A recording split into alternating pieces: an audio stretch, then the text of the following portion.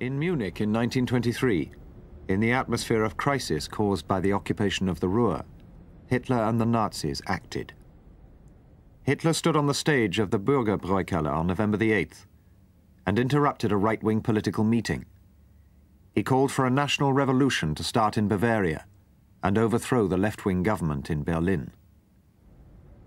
The next day, the Nazis, together with other right-wing parties, marched through Munich to gain support. They were stopped by the police at the war memorial at the Feldherrnhalle.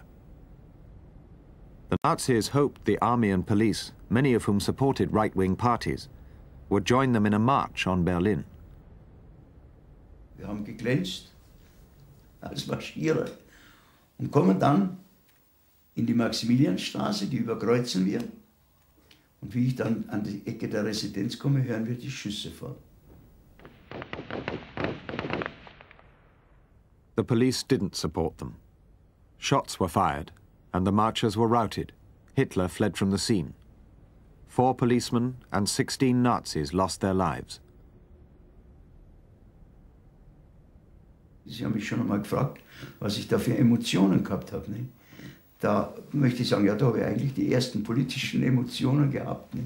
wie etwas eben, äh, wie etwas kann. Ne? Das war schon an sich ein Schlag für mich und für viele meiner Kameraden, dass das passieren konnte.